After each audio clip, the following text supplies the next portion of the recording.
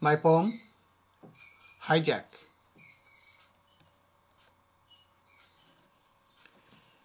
Dedicated to true democratic free world. Evolved humans engage themselves in trading since the dawn of civilized cultural beginning, when trading was a daring passion of sharing God's enormous scattered gifts of eventful blessing. Industrial age began with commercial mining and logging, extracting the body of earth that supports beings, as few discovered public resources of endless profit making, hijacked trading as commerce of fast logging and digging. Evolved people, animals, birds, fishes washed in agony their home, family, community failed to wrath of mining and deforesting.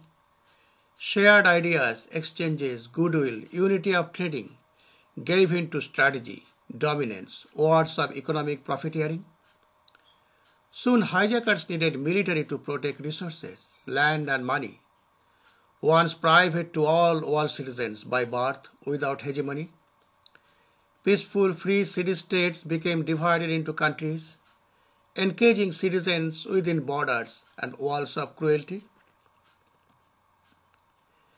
Enriched with money, power, protection of military privacy, they became the class of supreme rulers as beholders of nobility, inventing kingship, lordship, laws that guaranteed sustainable slavery, making free world smaller for many to enrich prison industry.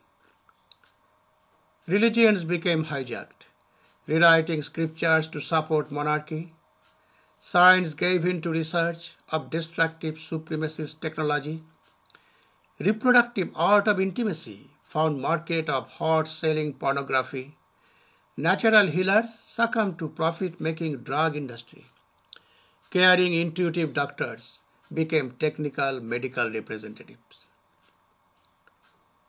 People sacrificed under cross too long embracing miseries as modern history mainly documented kings and their victories. Always worried about job, health, education, pension, security. They hardly can equate hijacking to anything other than air industry. As nobles engineer high-tech hijacking of world democracy. Poems by Kolki. As people around the world strive to regain freedom and democracy, International Republican Institute undone them. Covert intelligence is a deception for legalization of mafia and private mercenaries to run shadow government hijacking democracy of the people for the united monarchy. God bless our world towards real freedom and democracy of the people for the people by the people.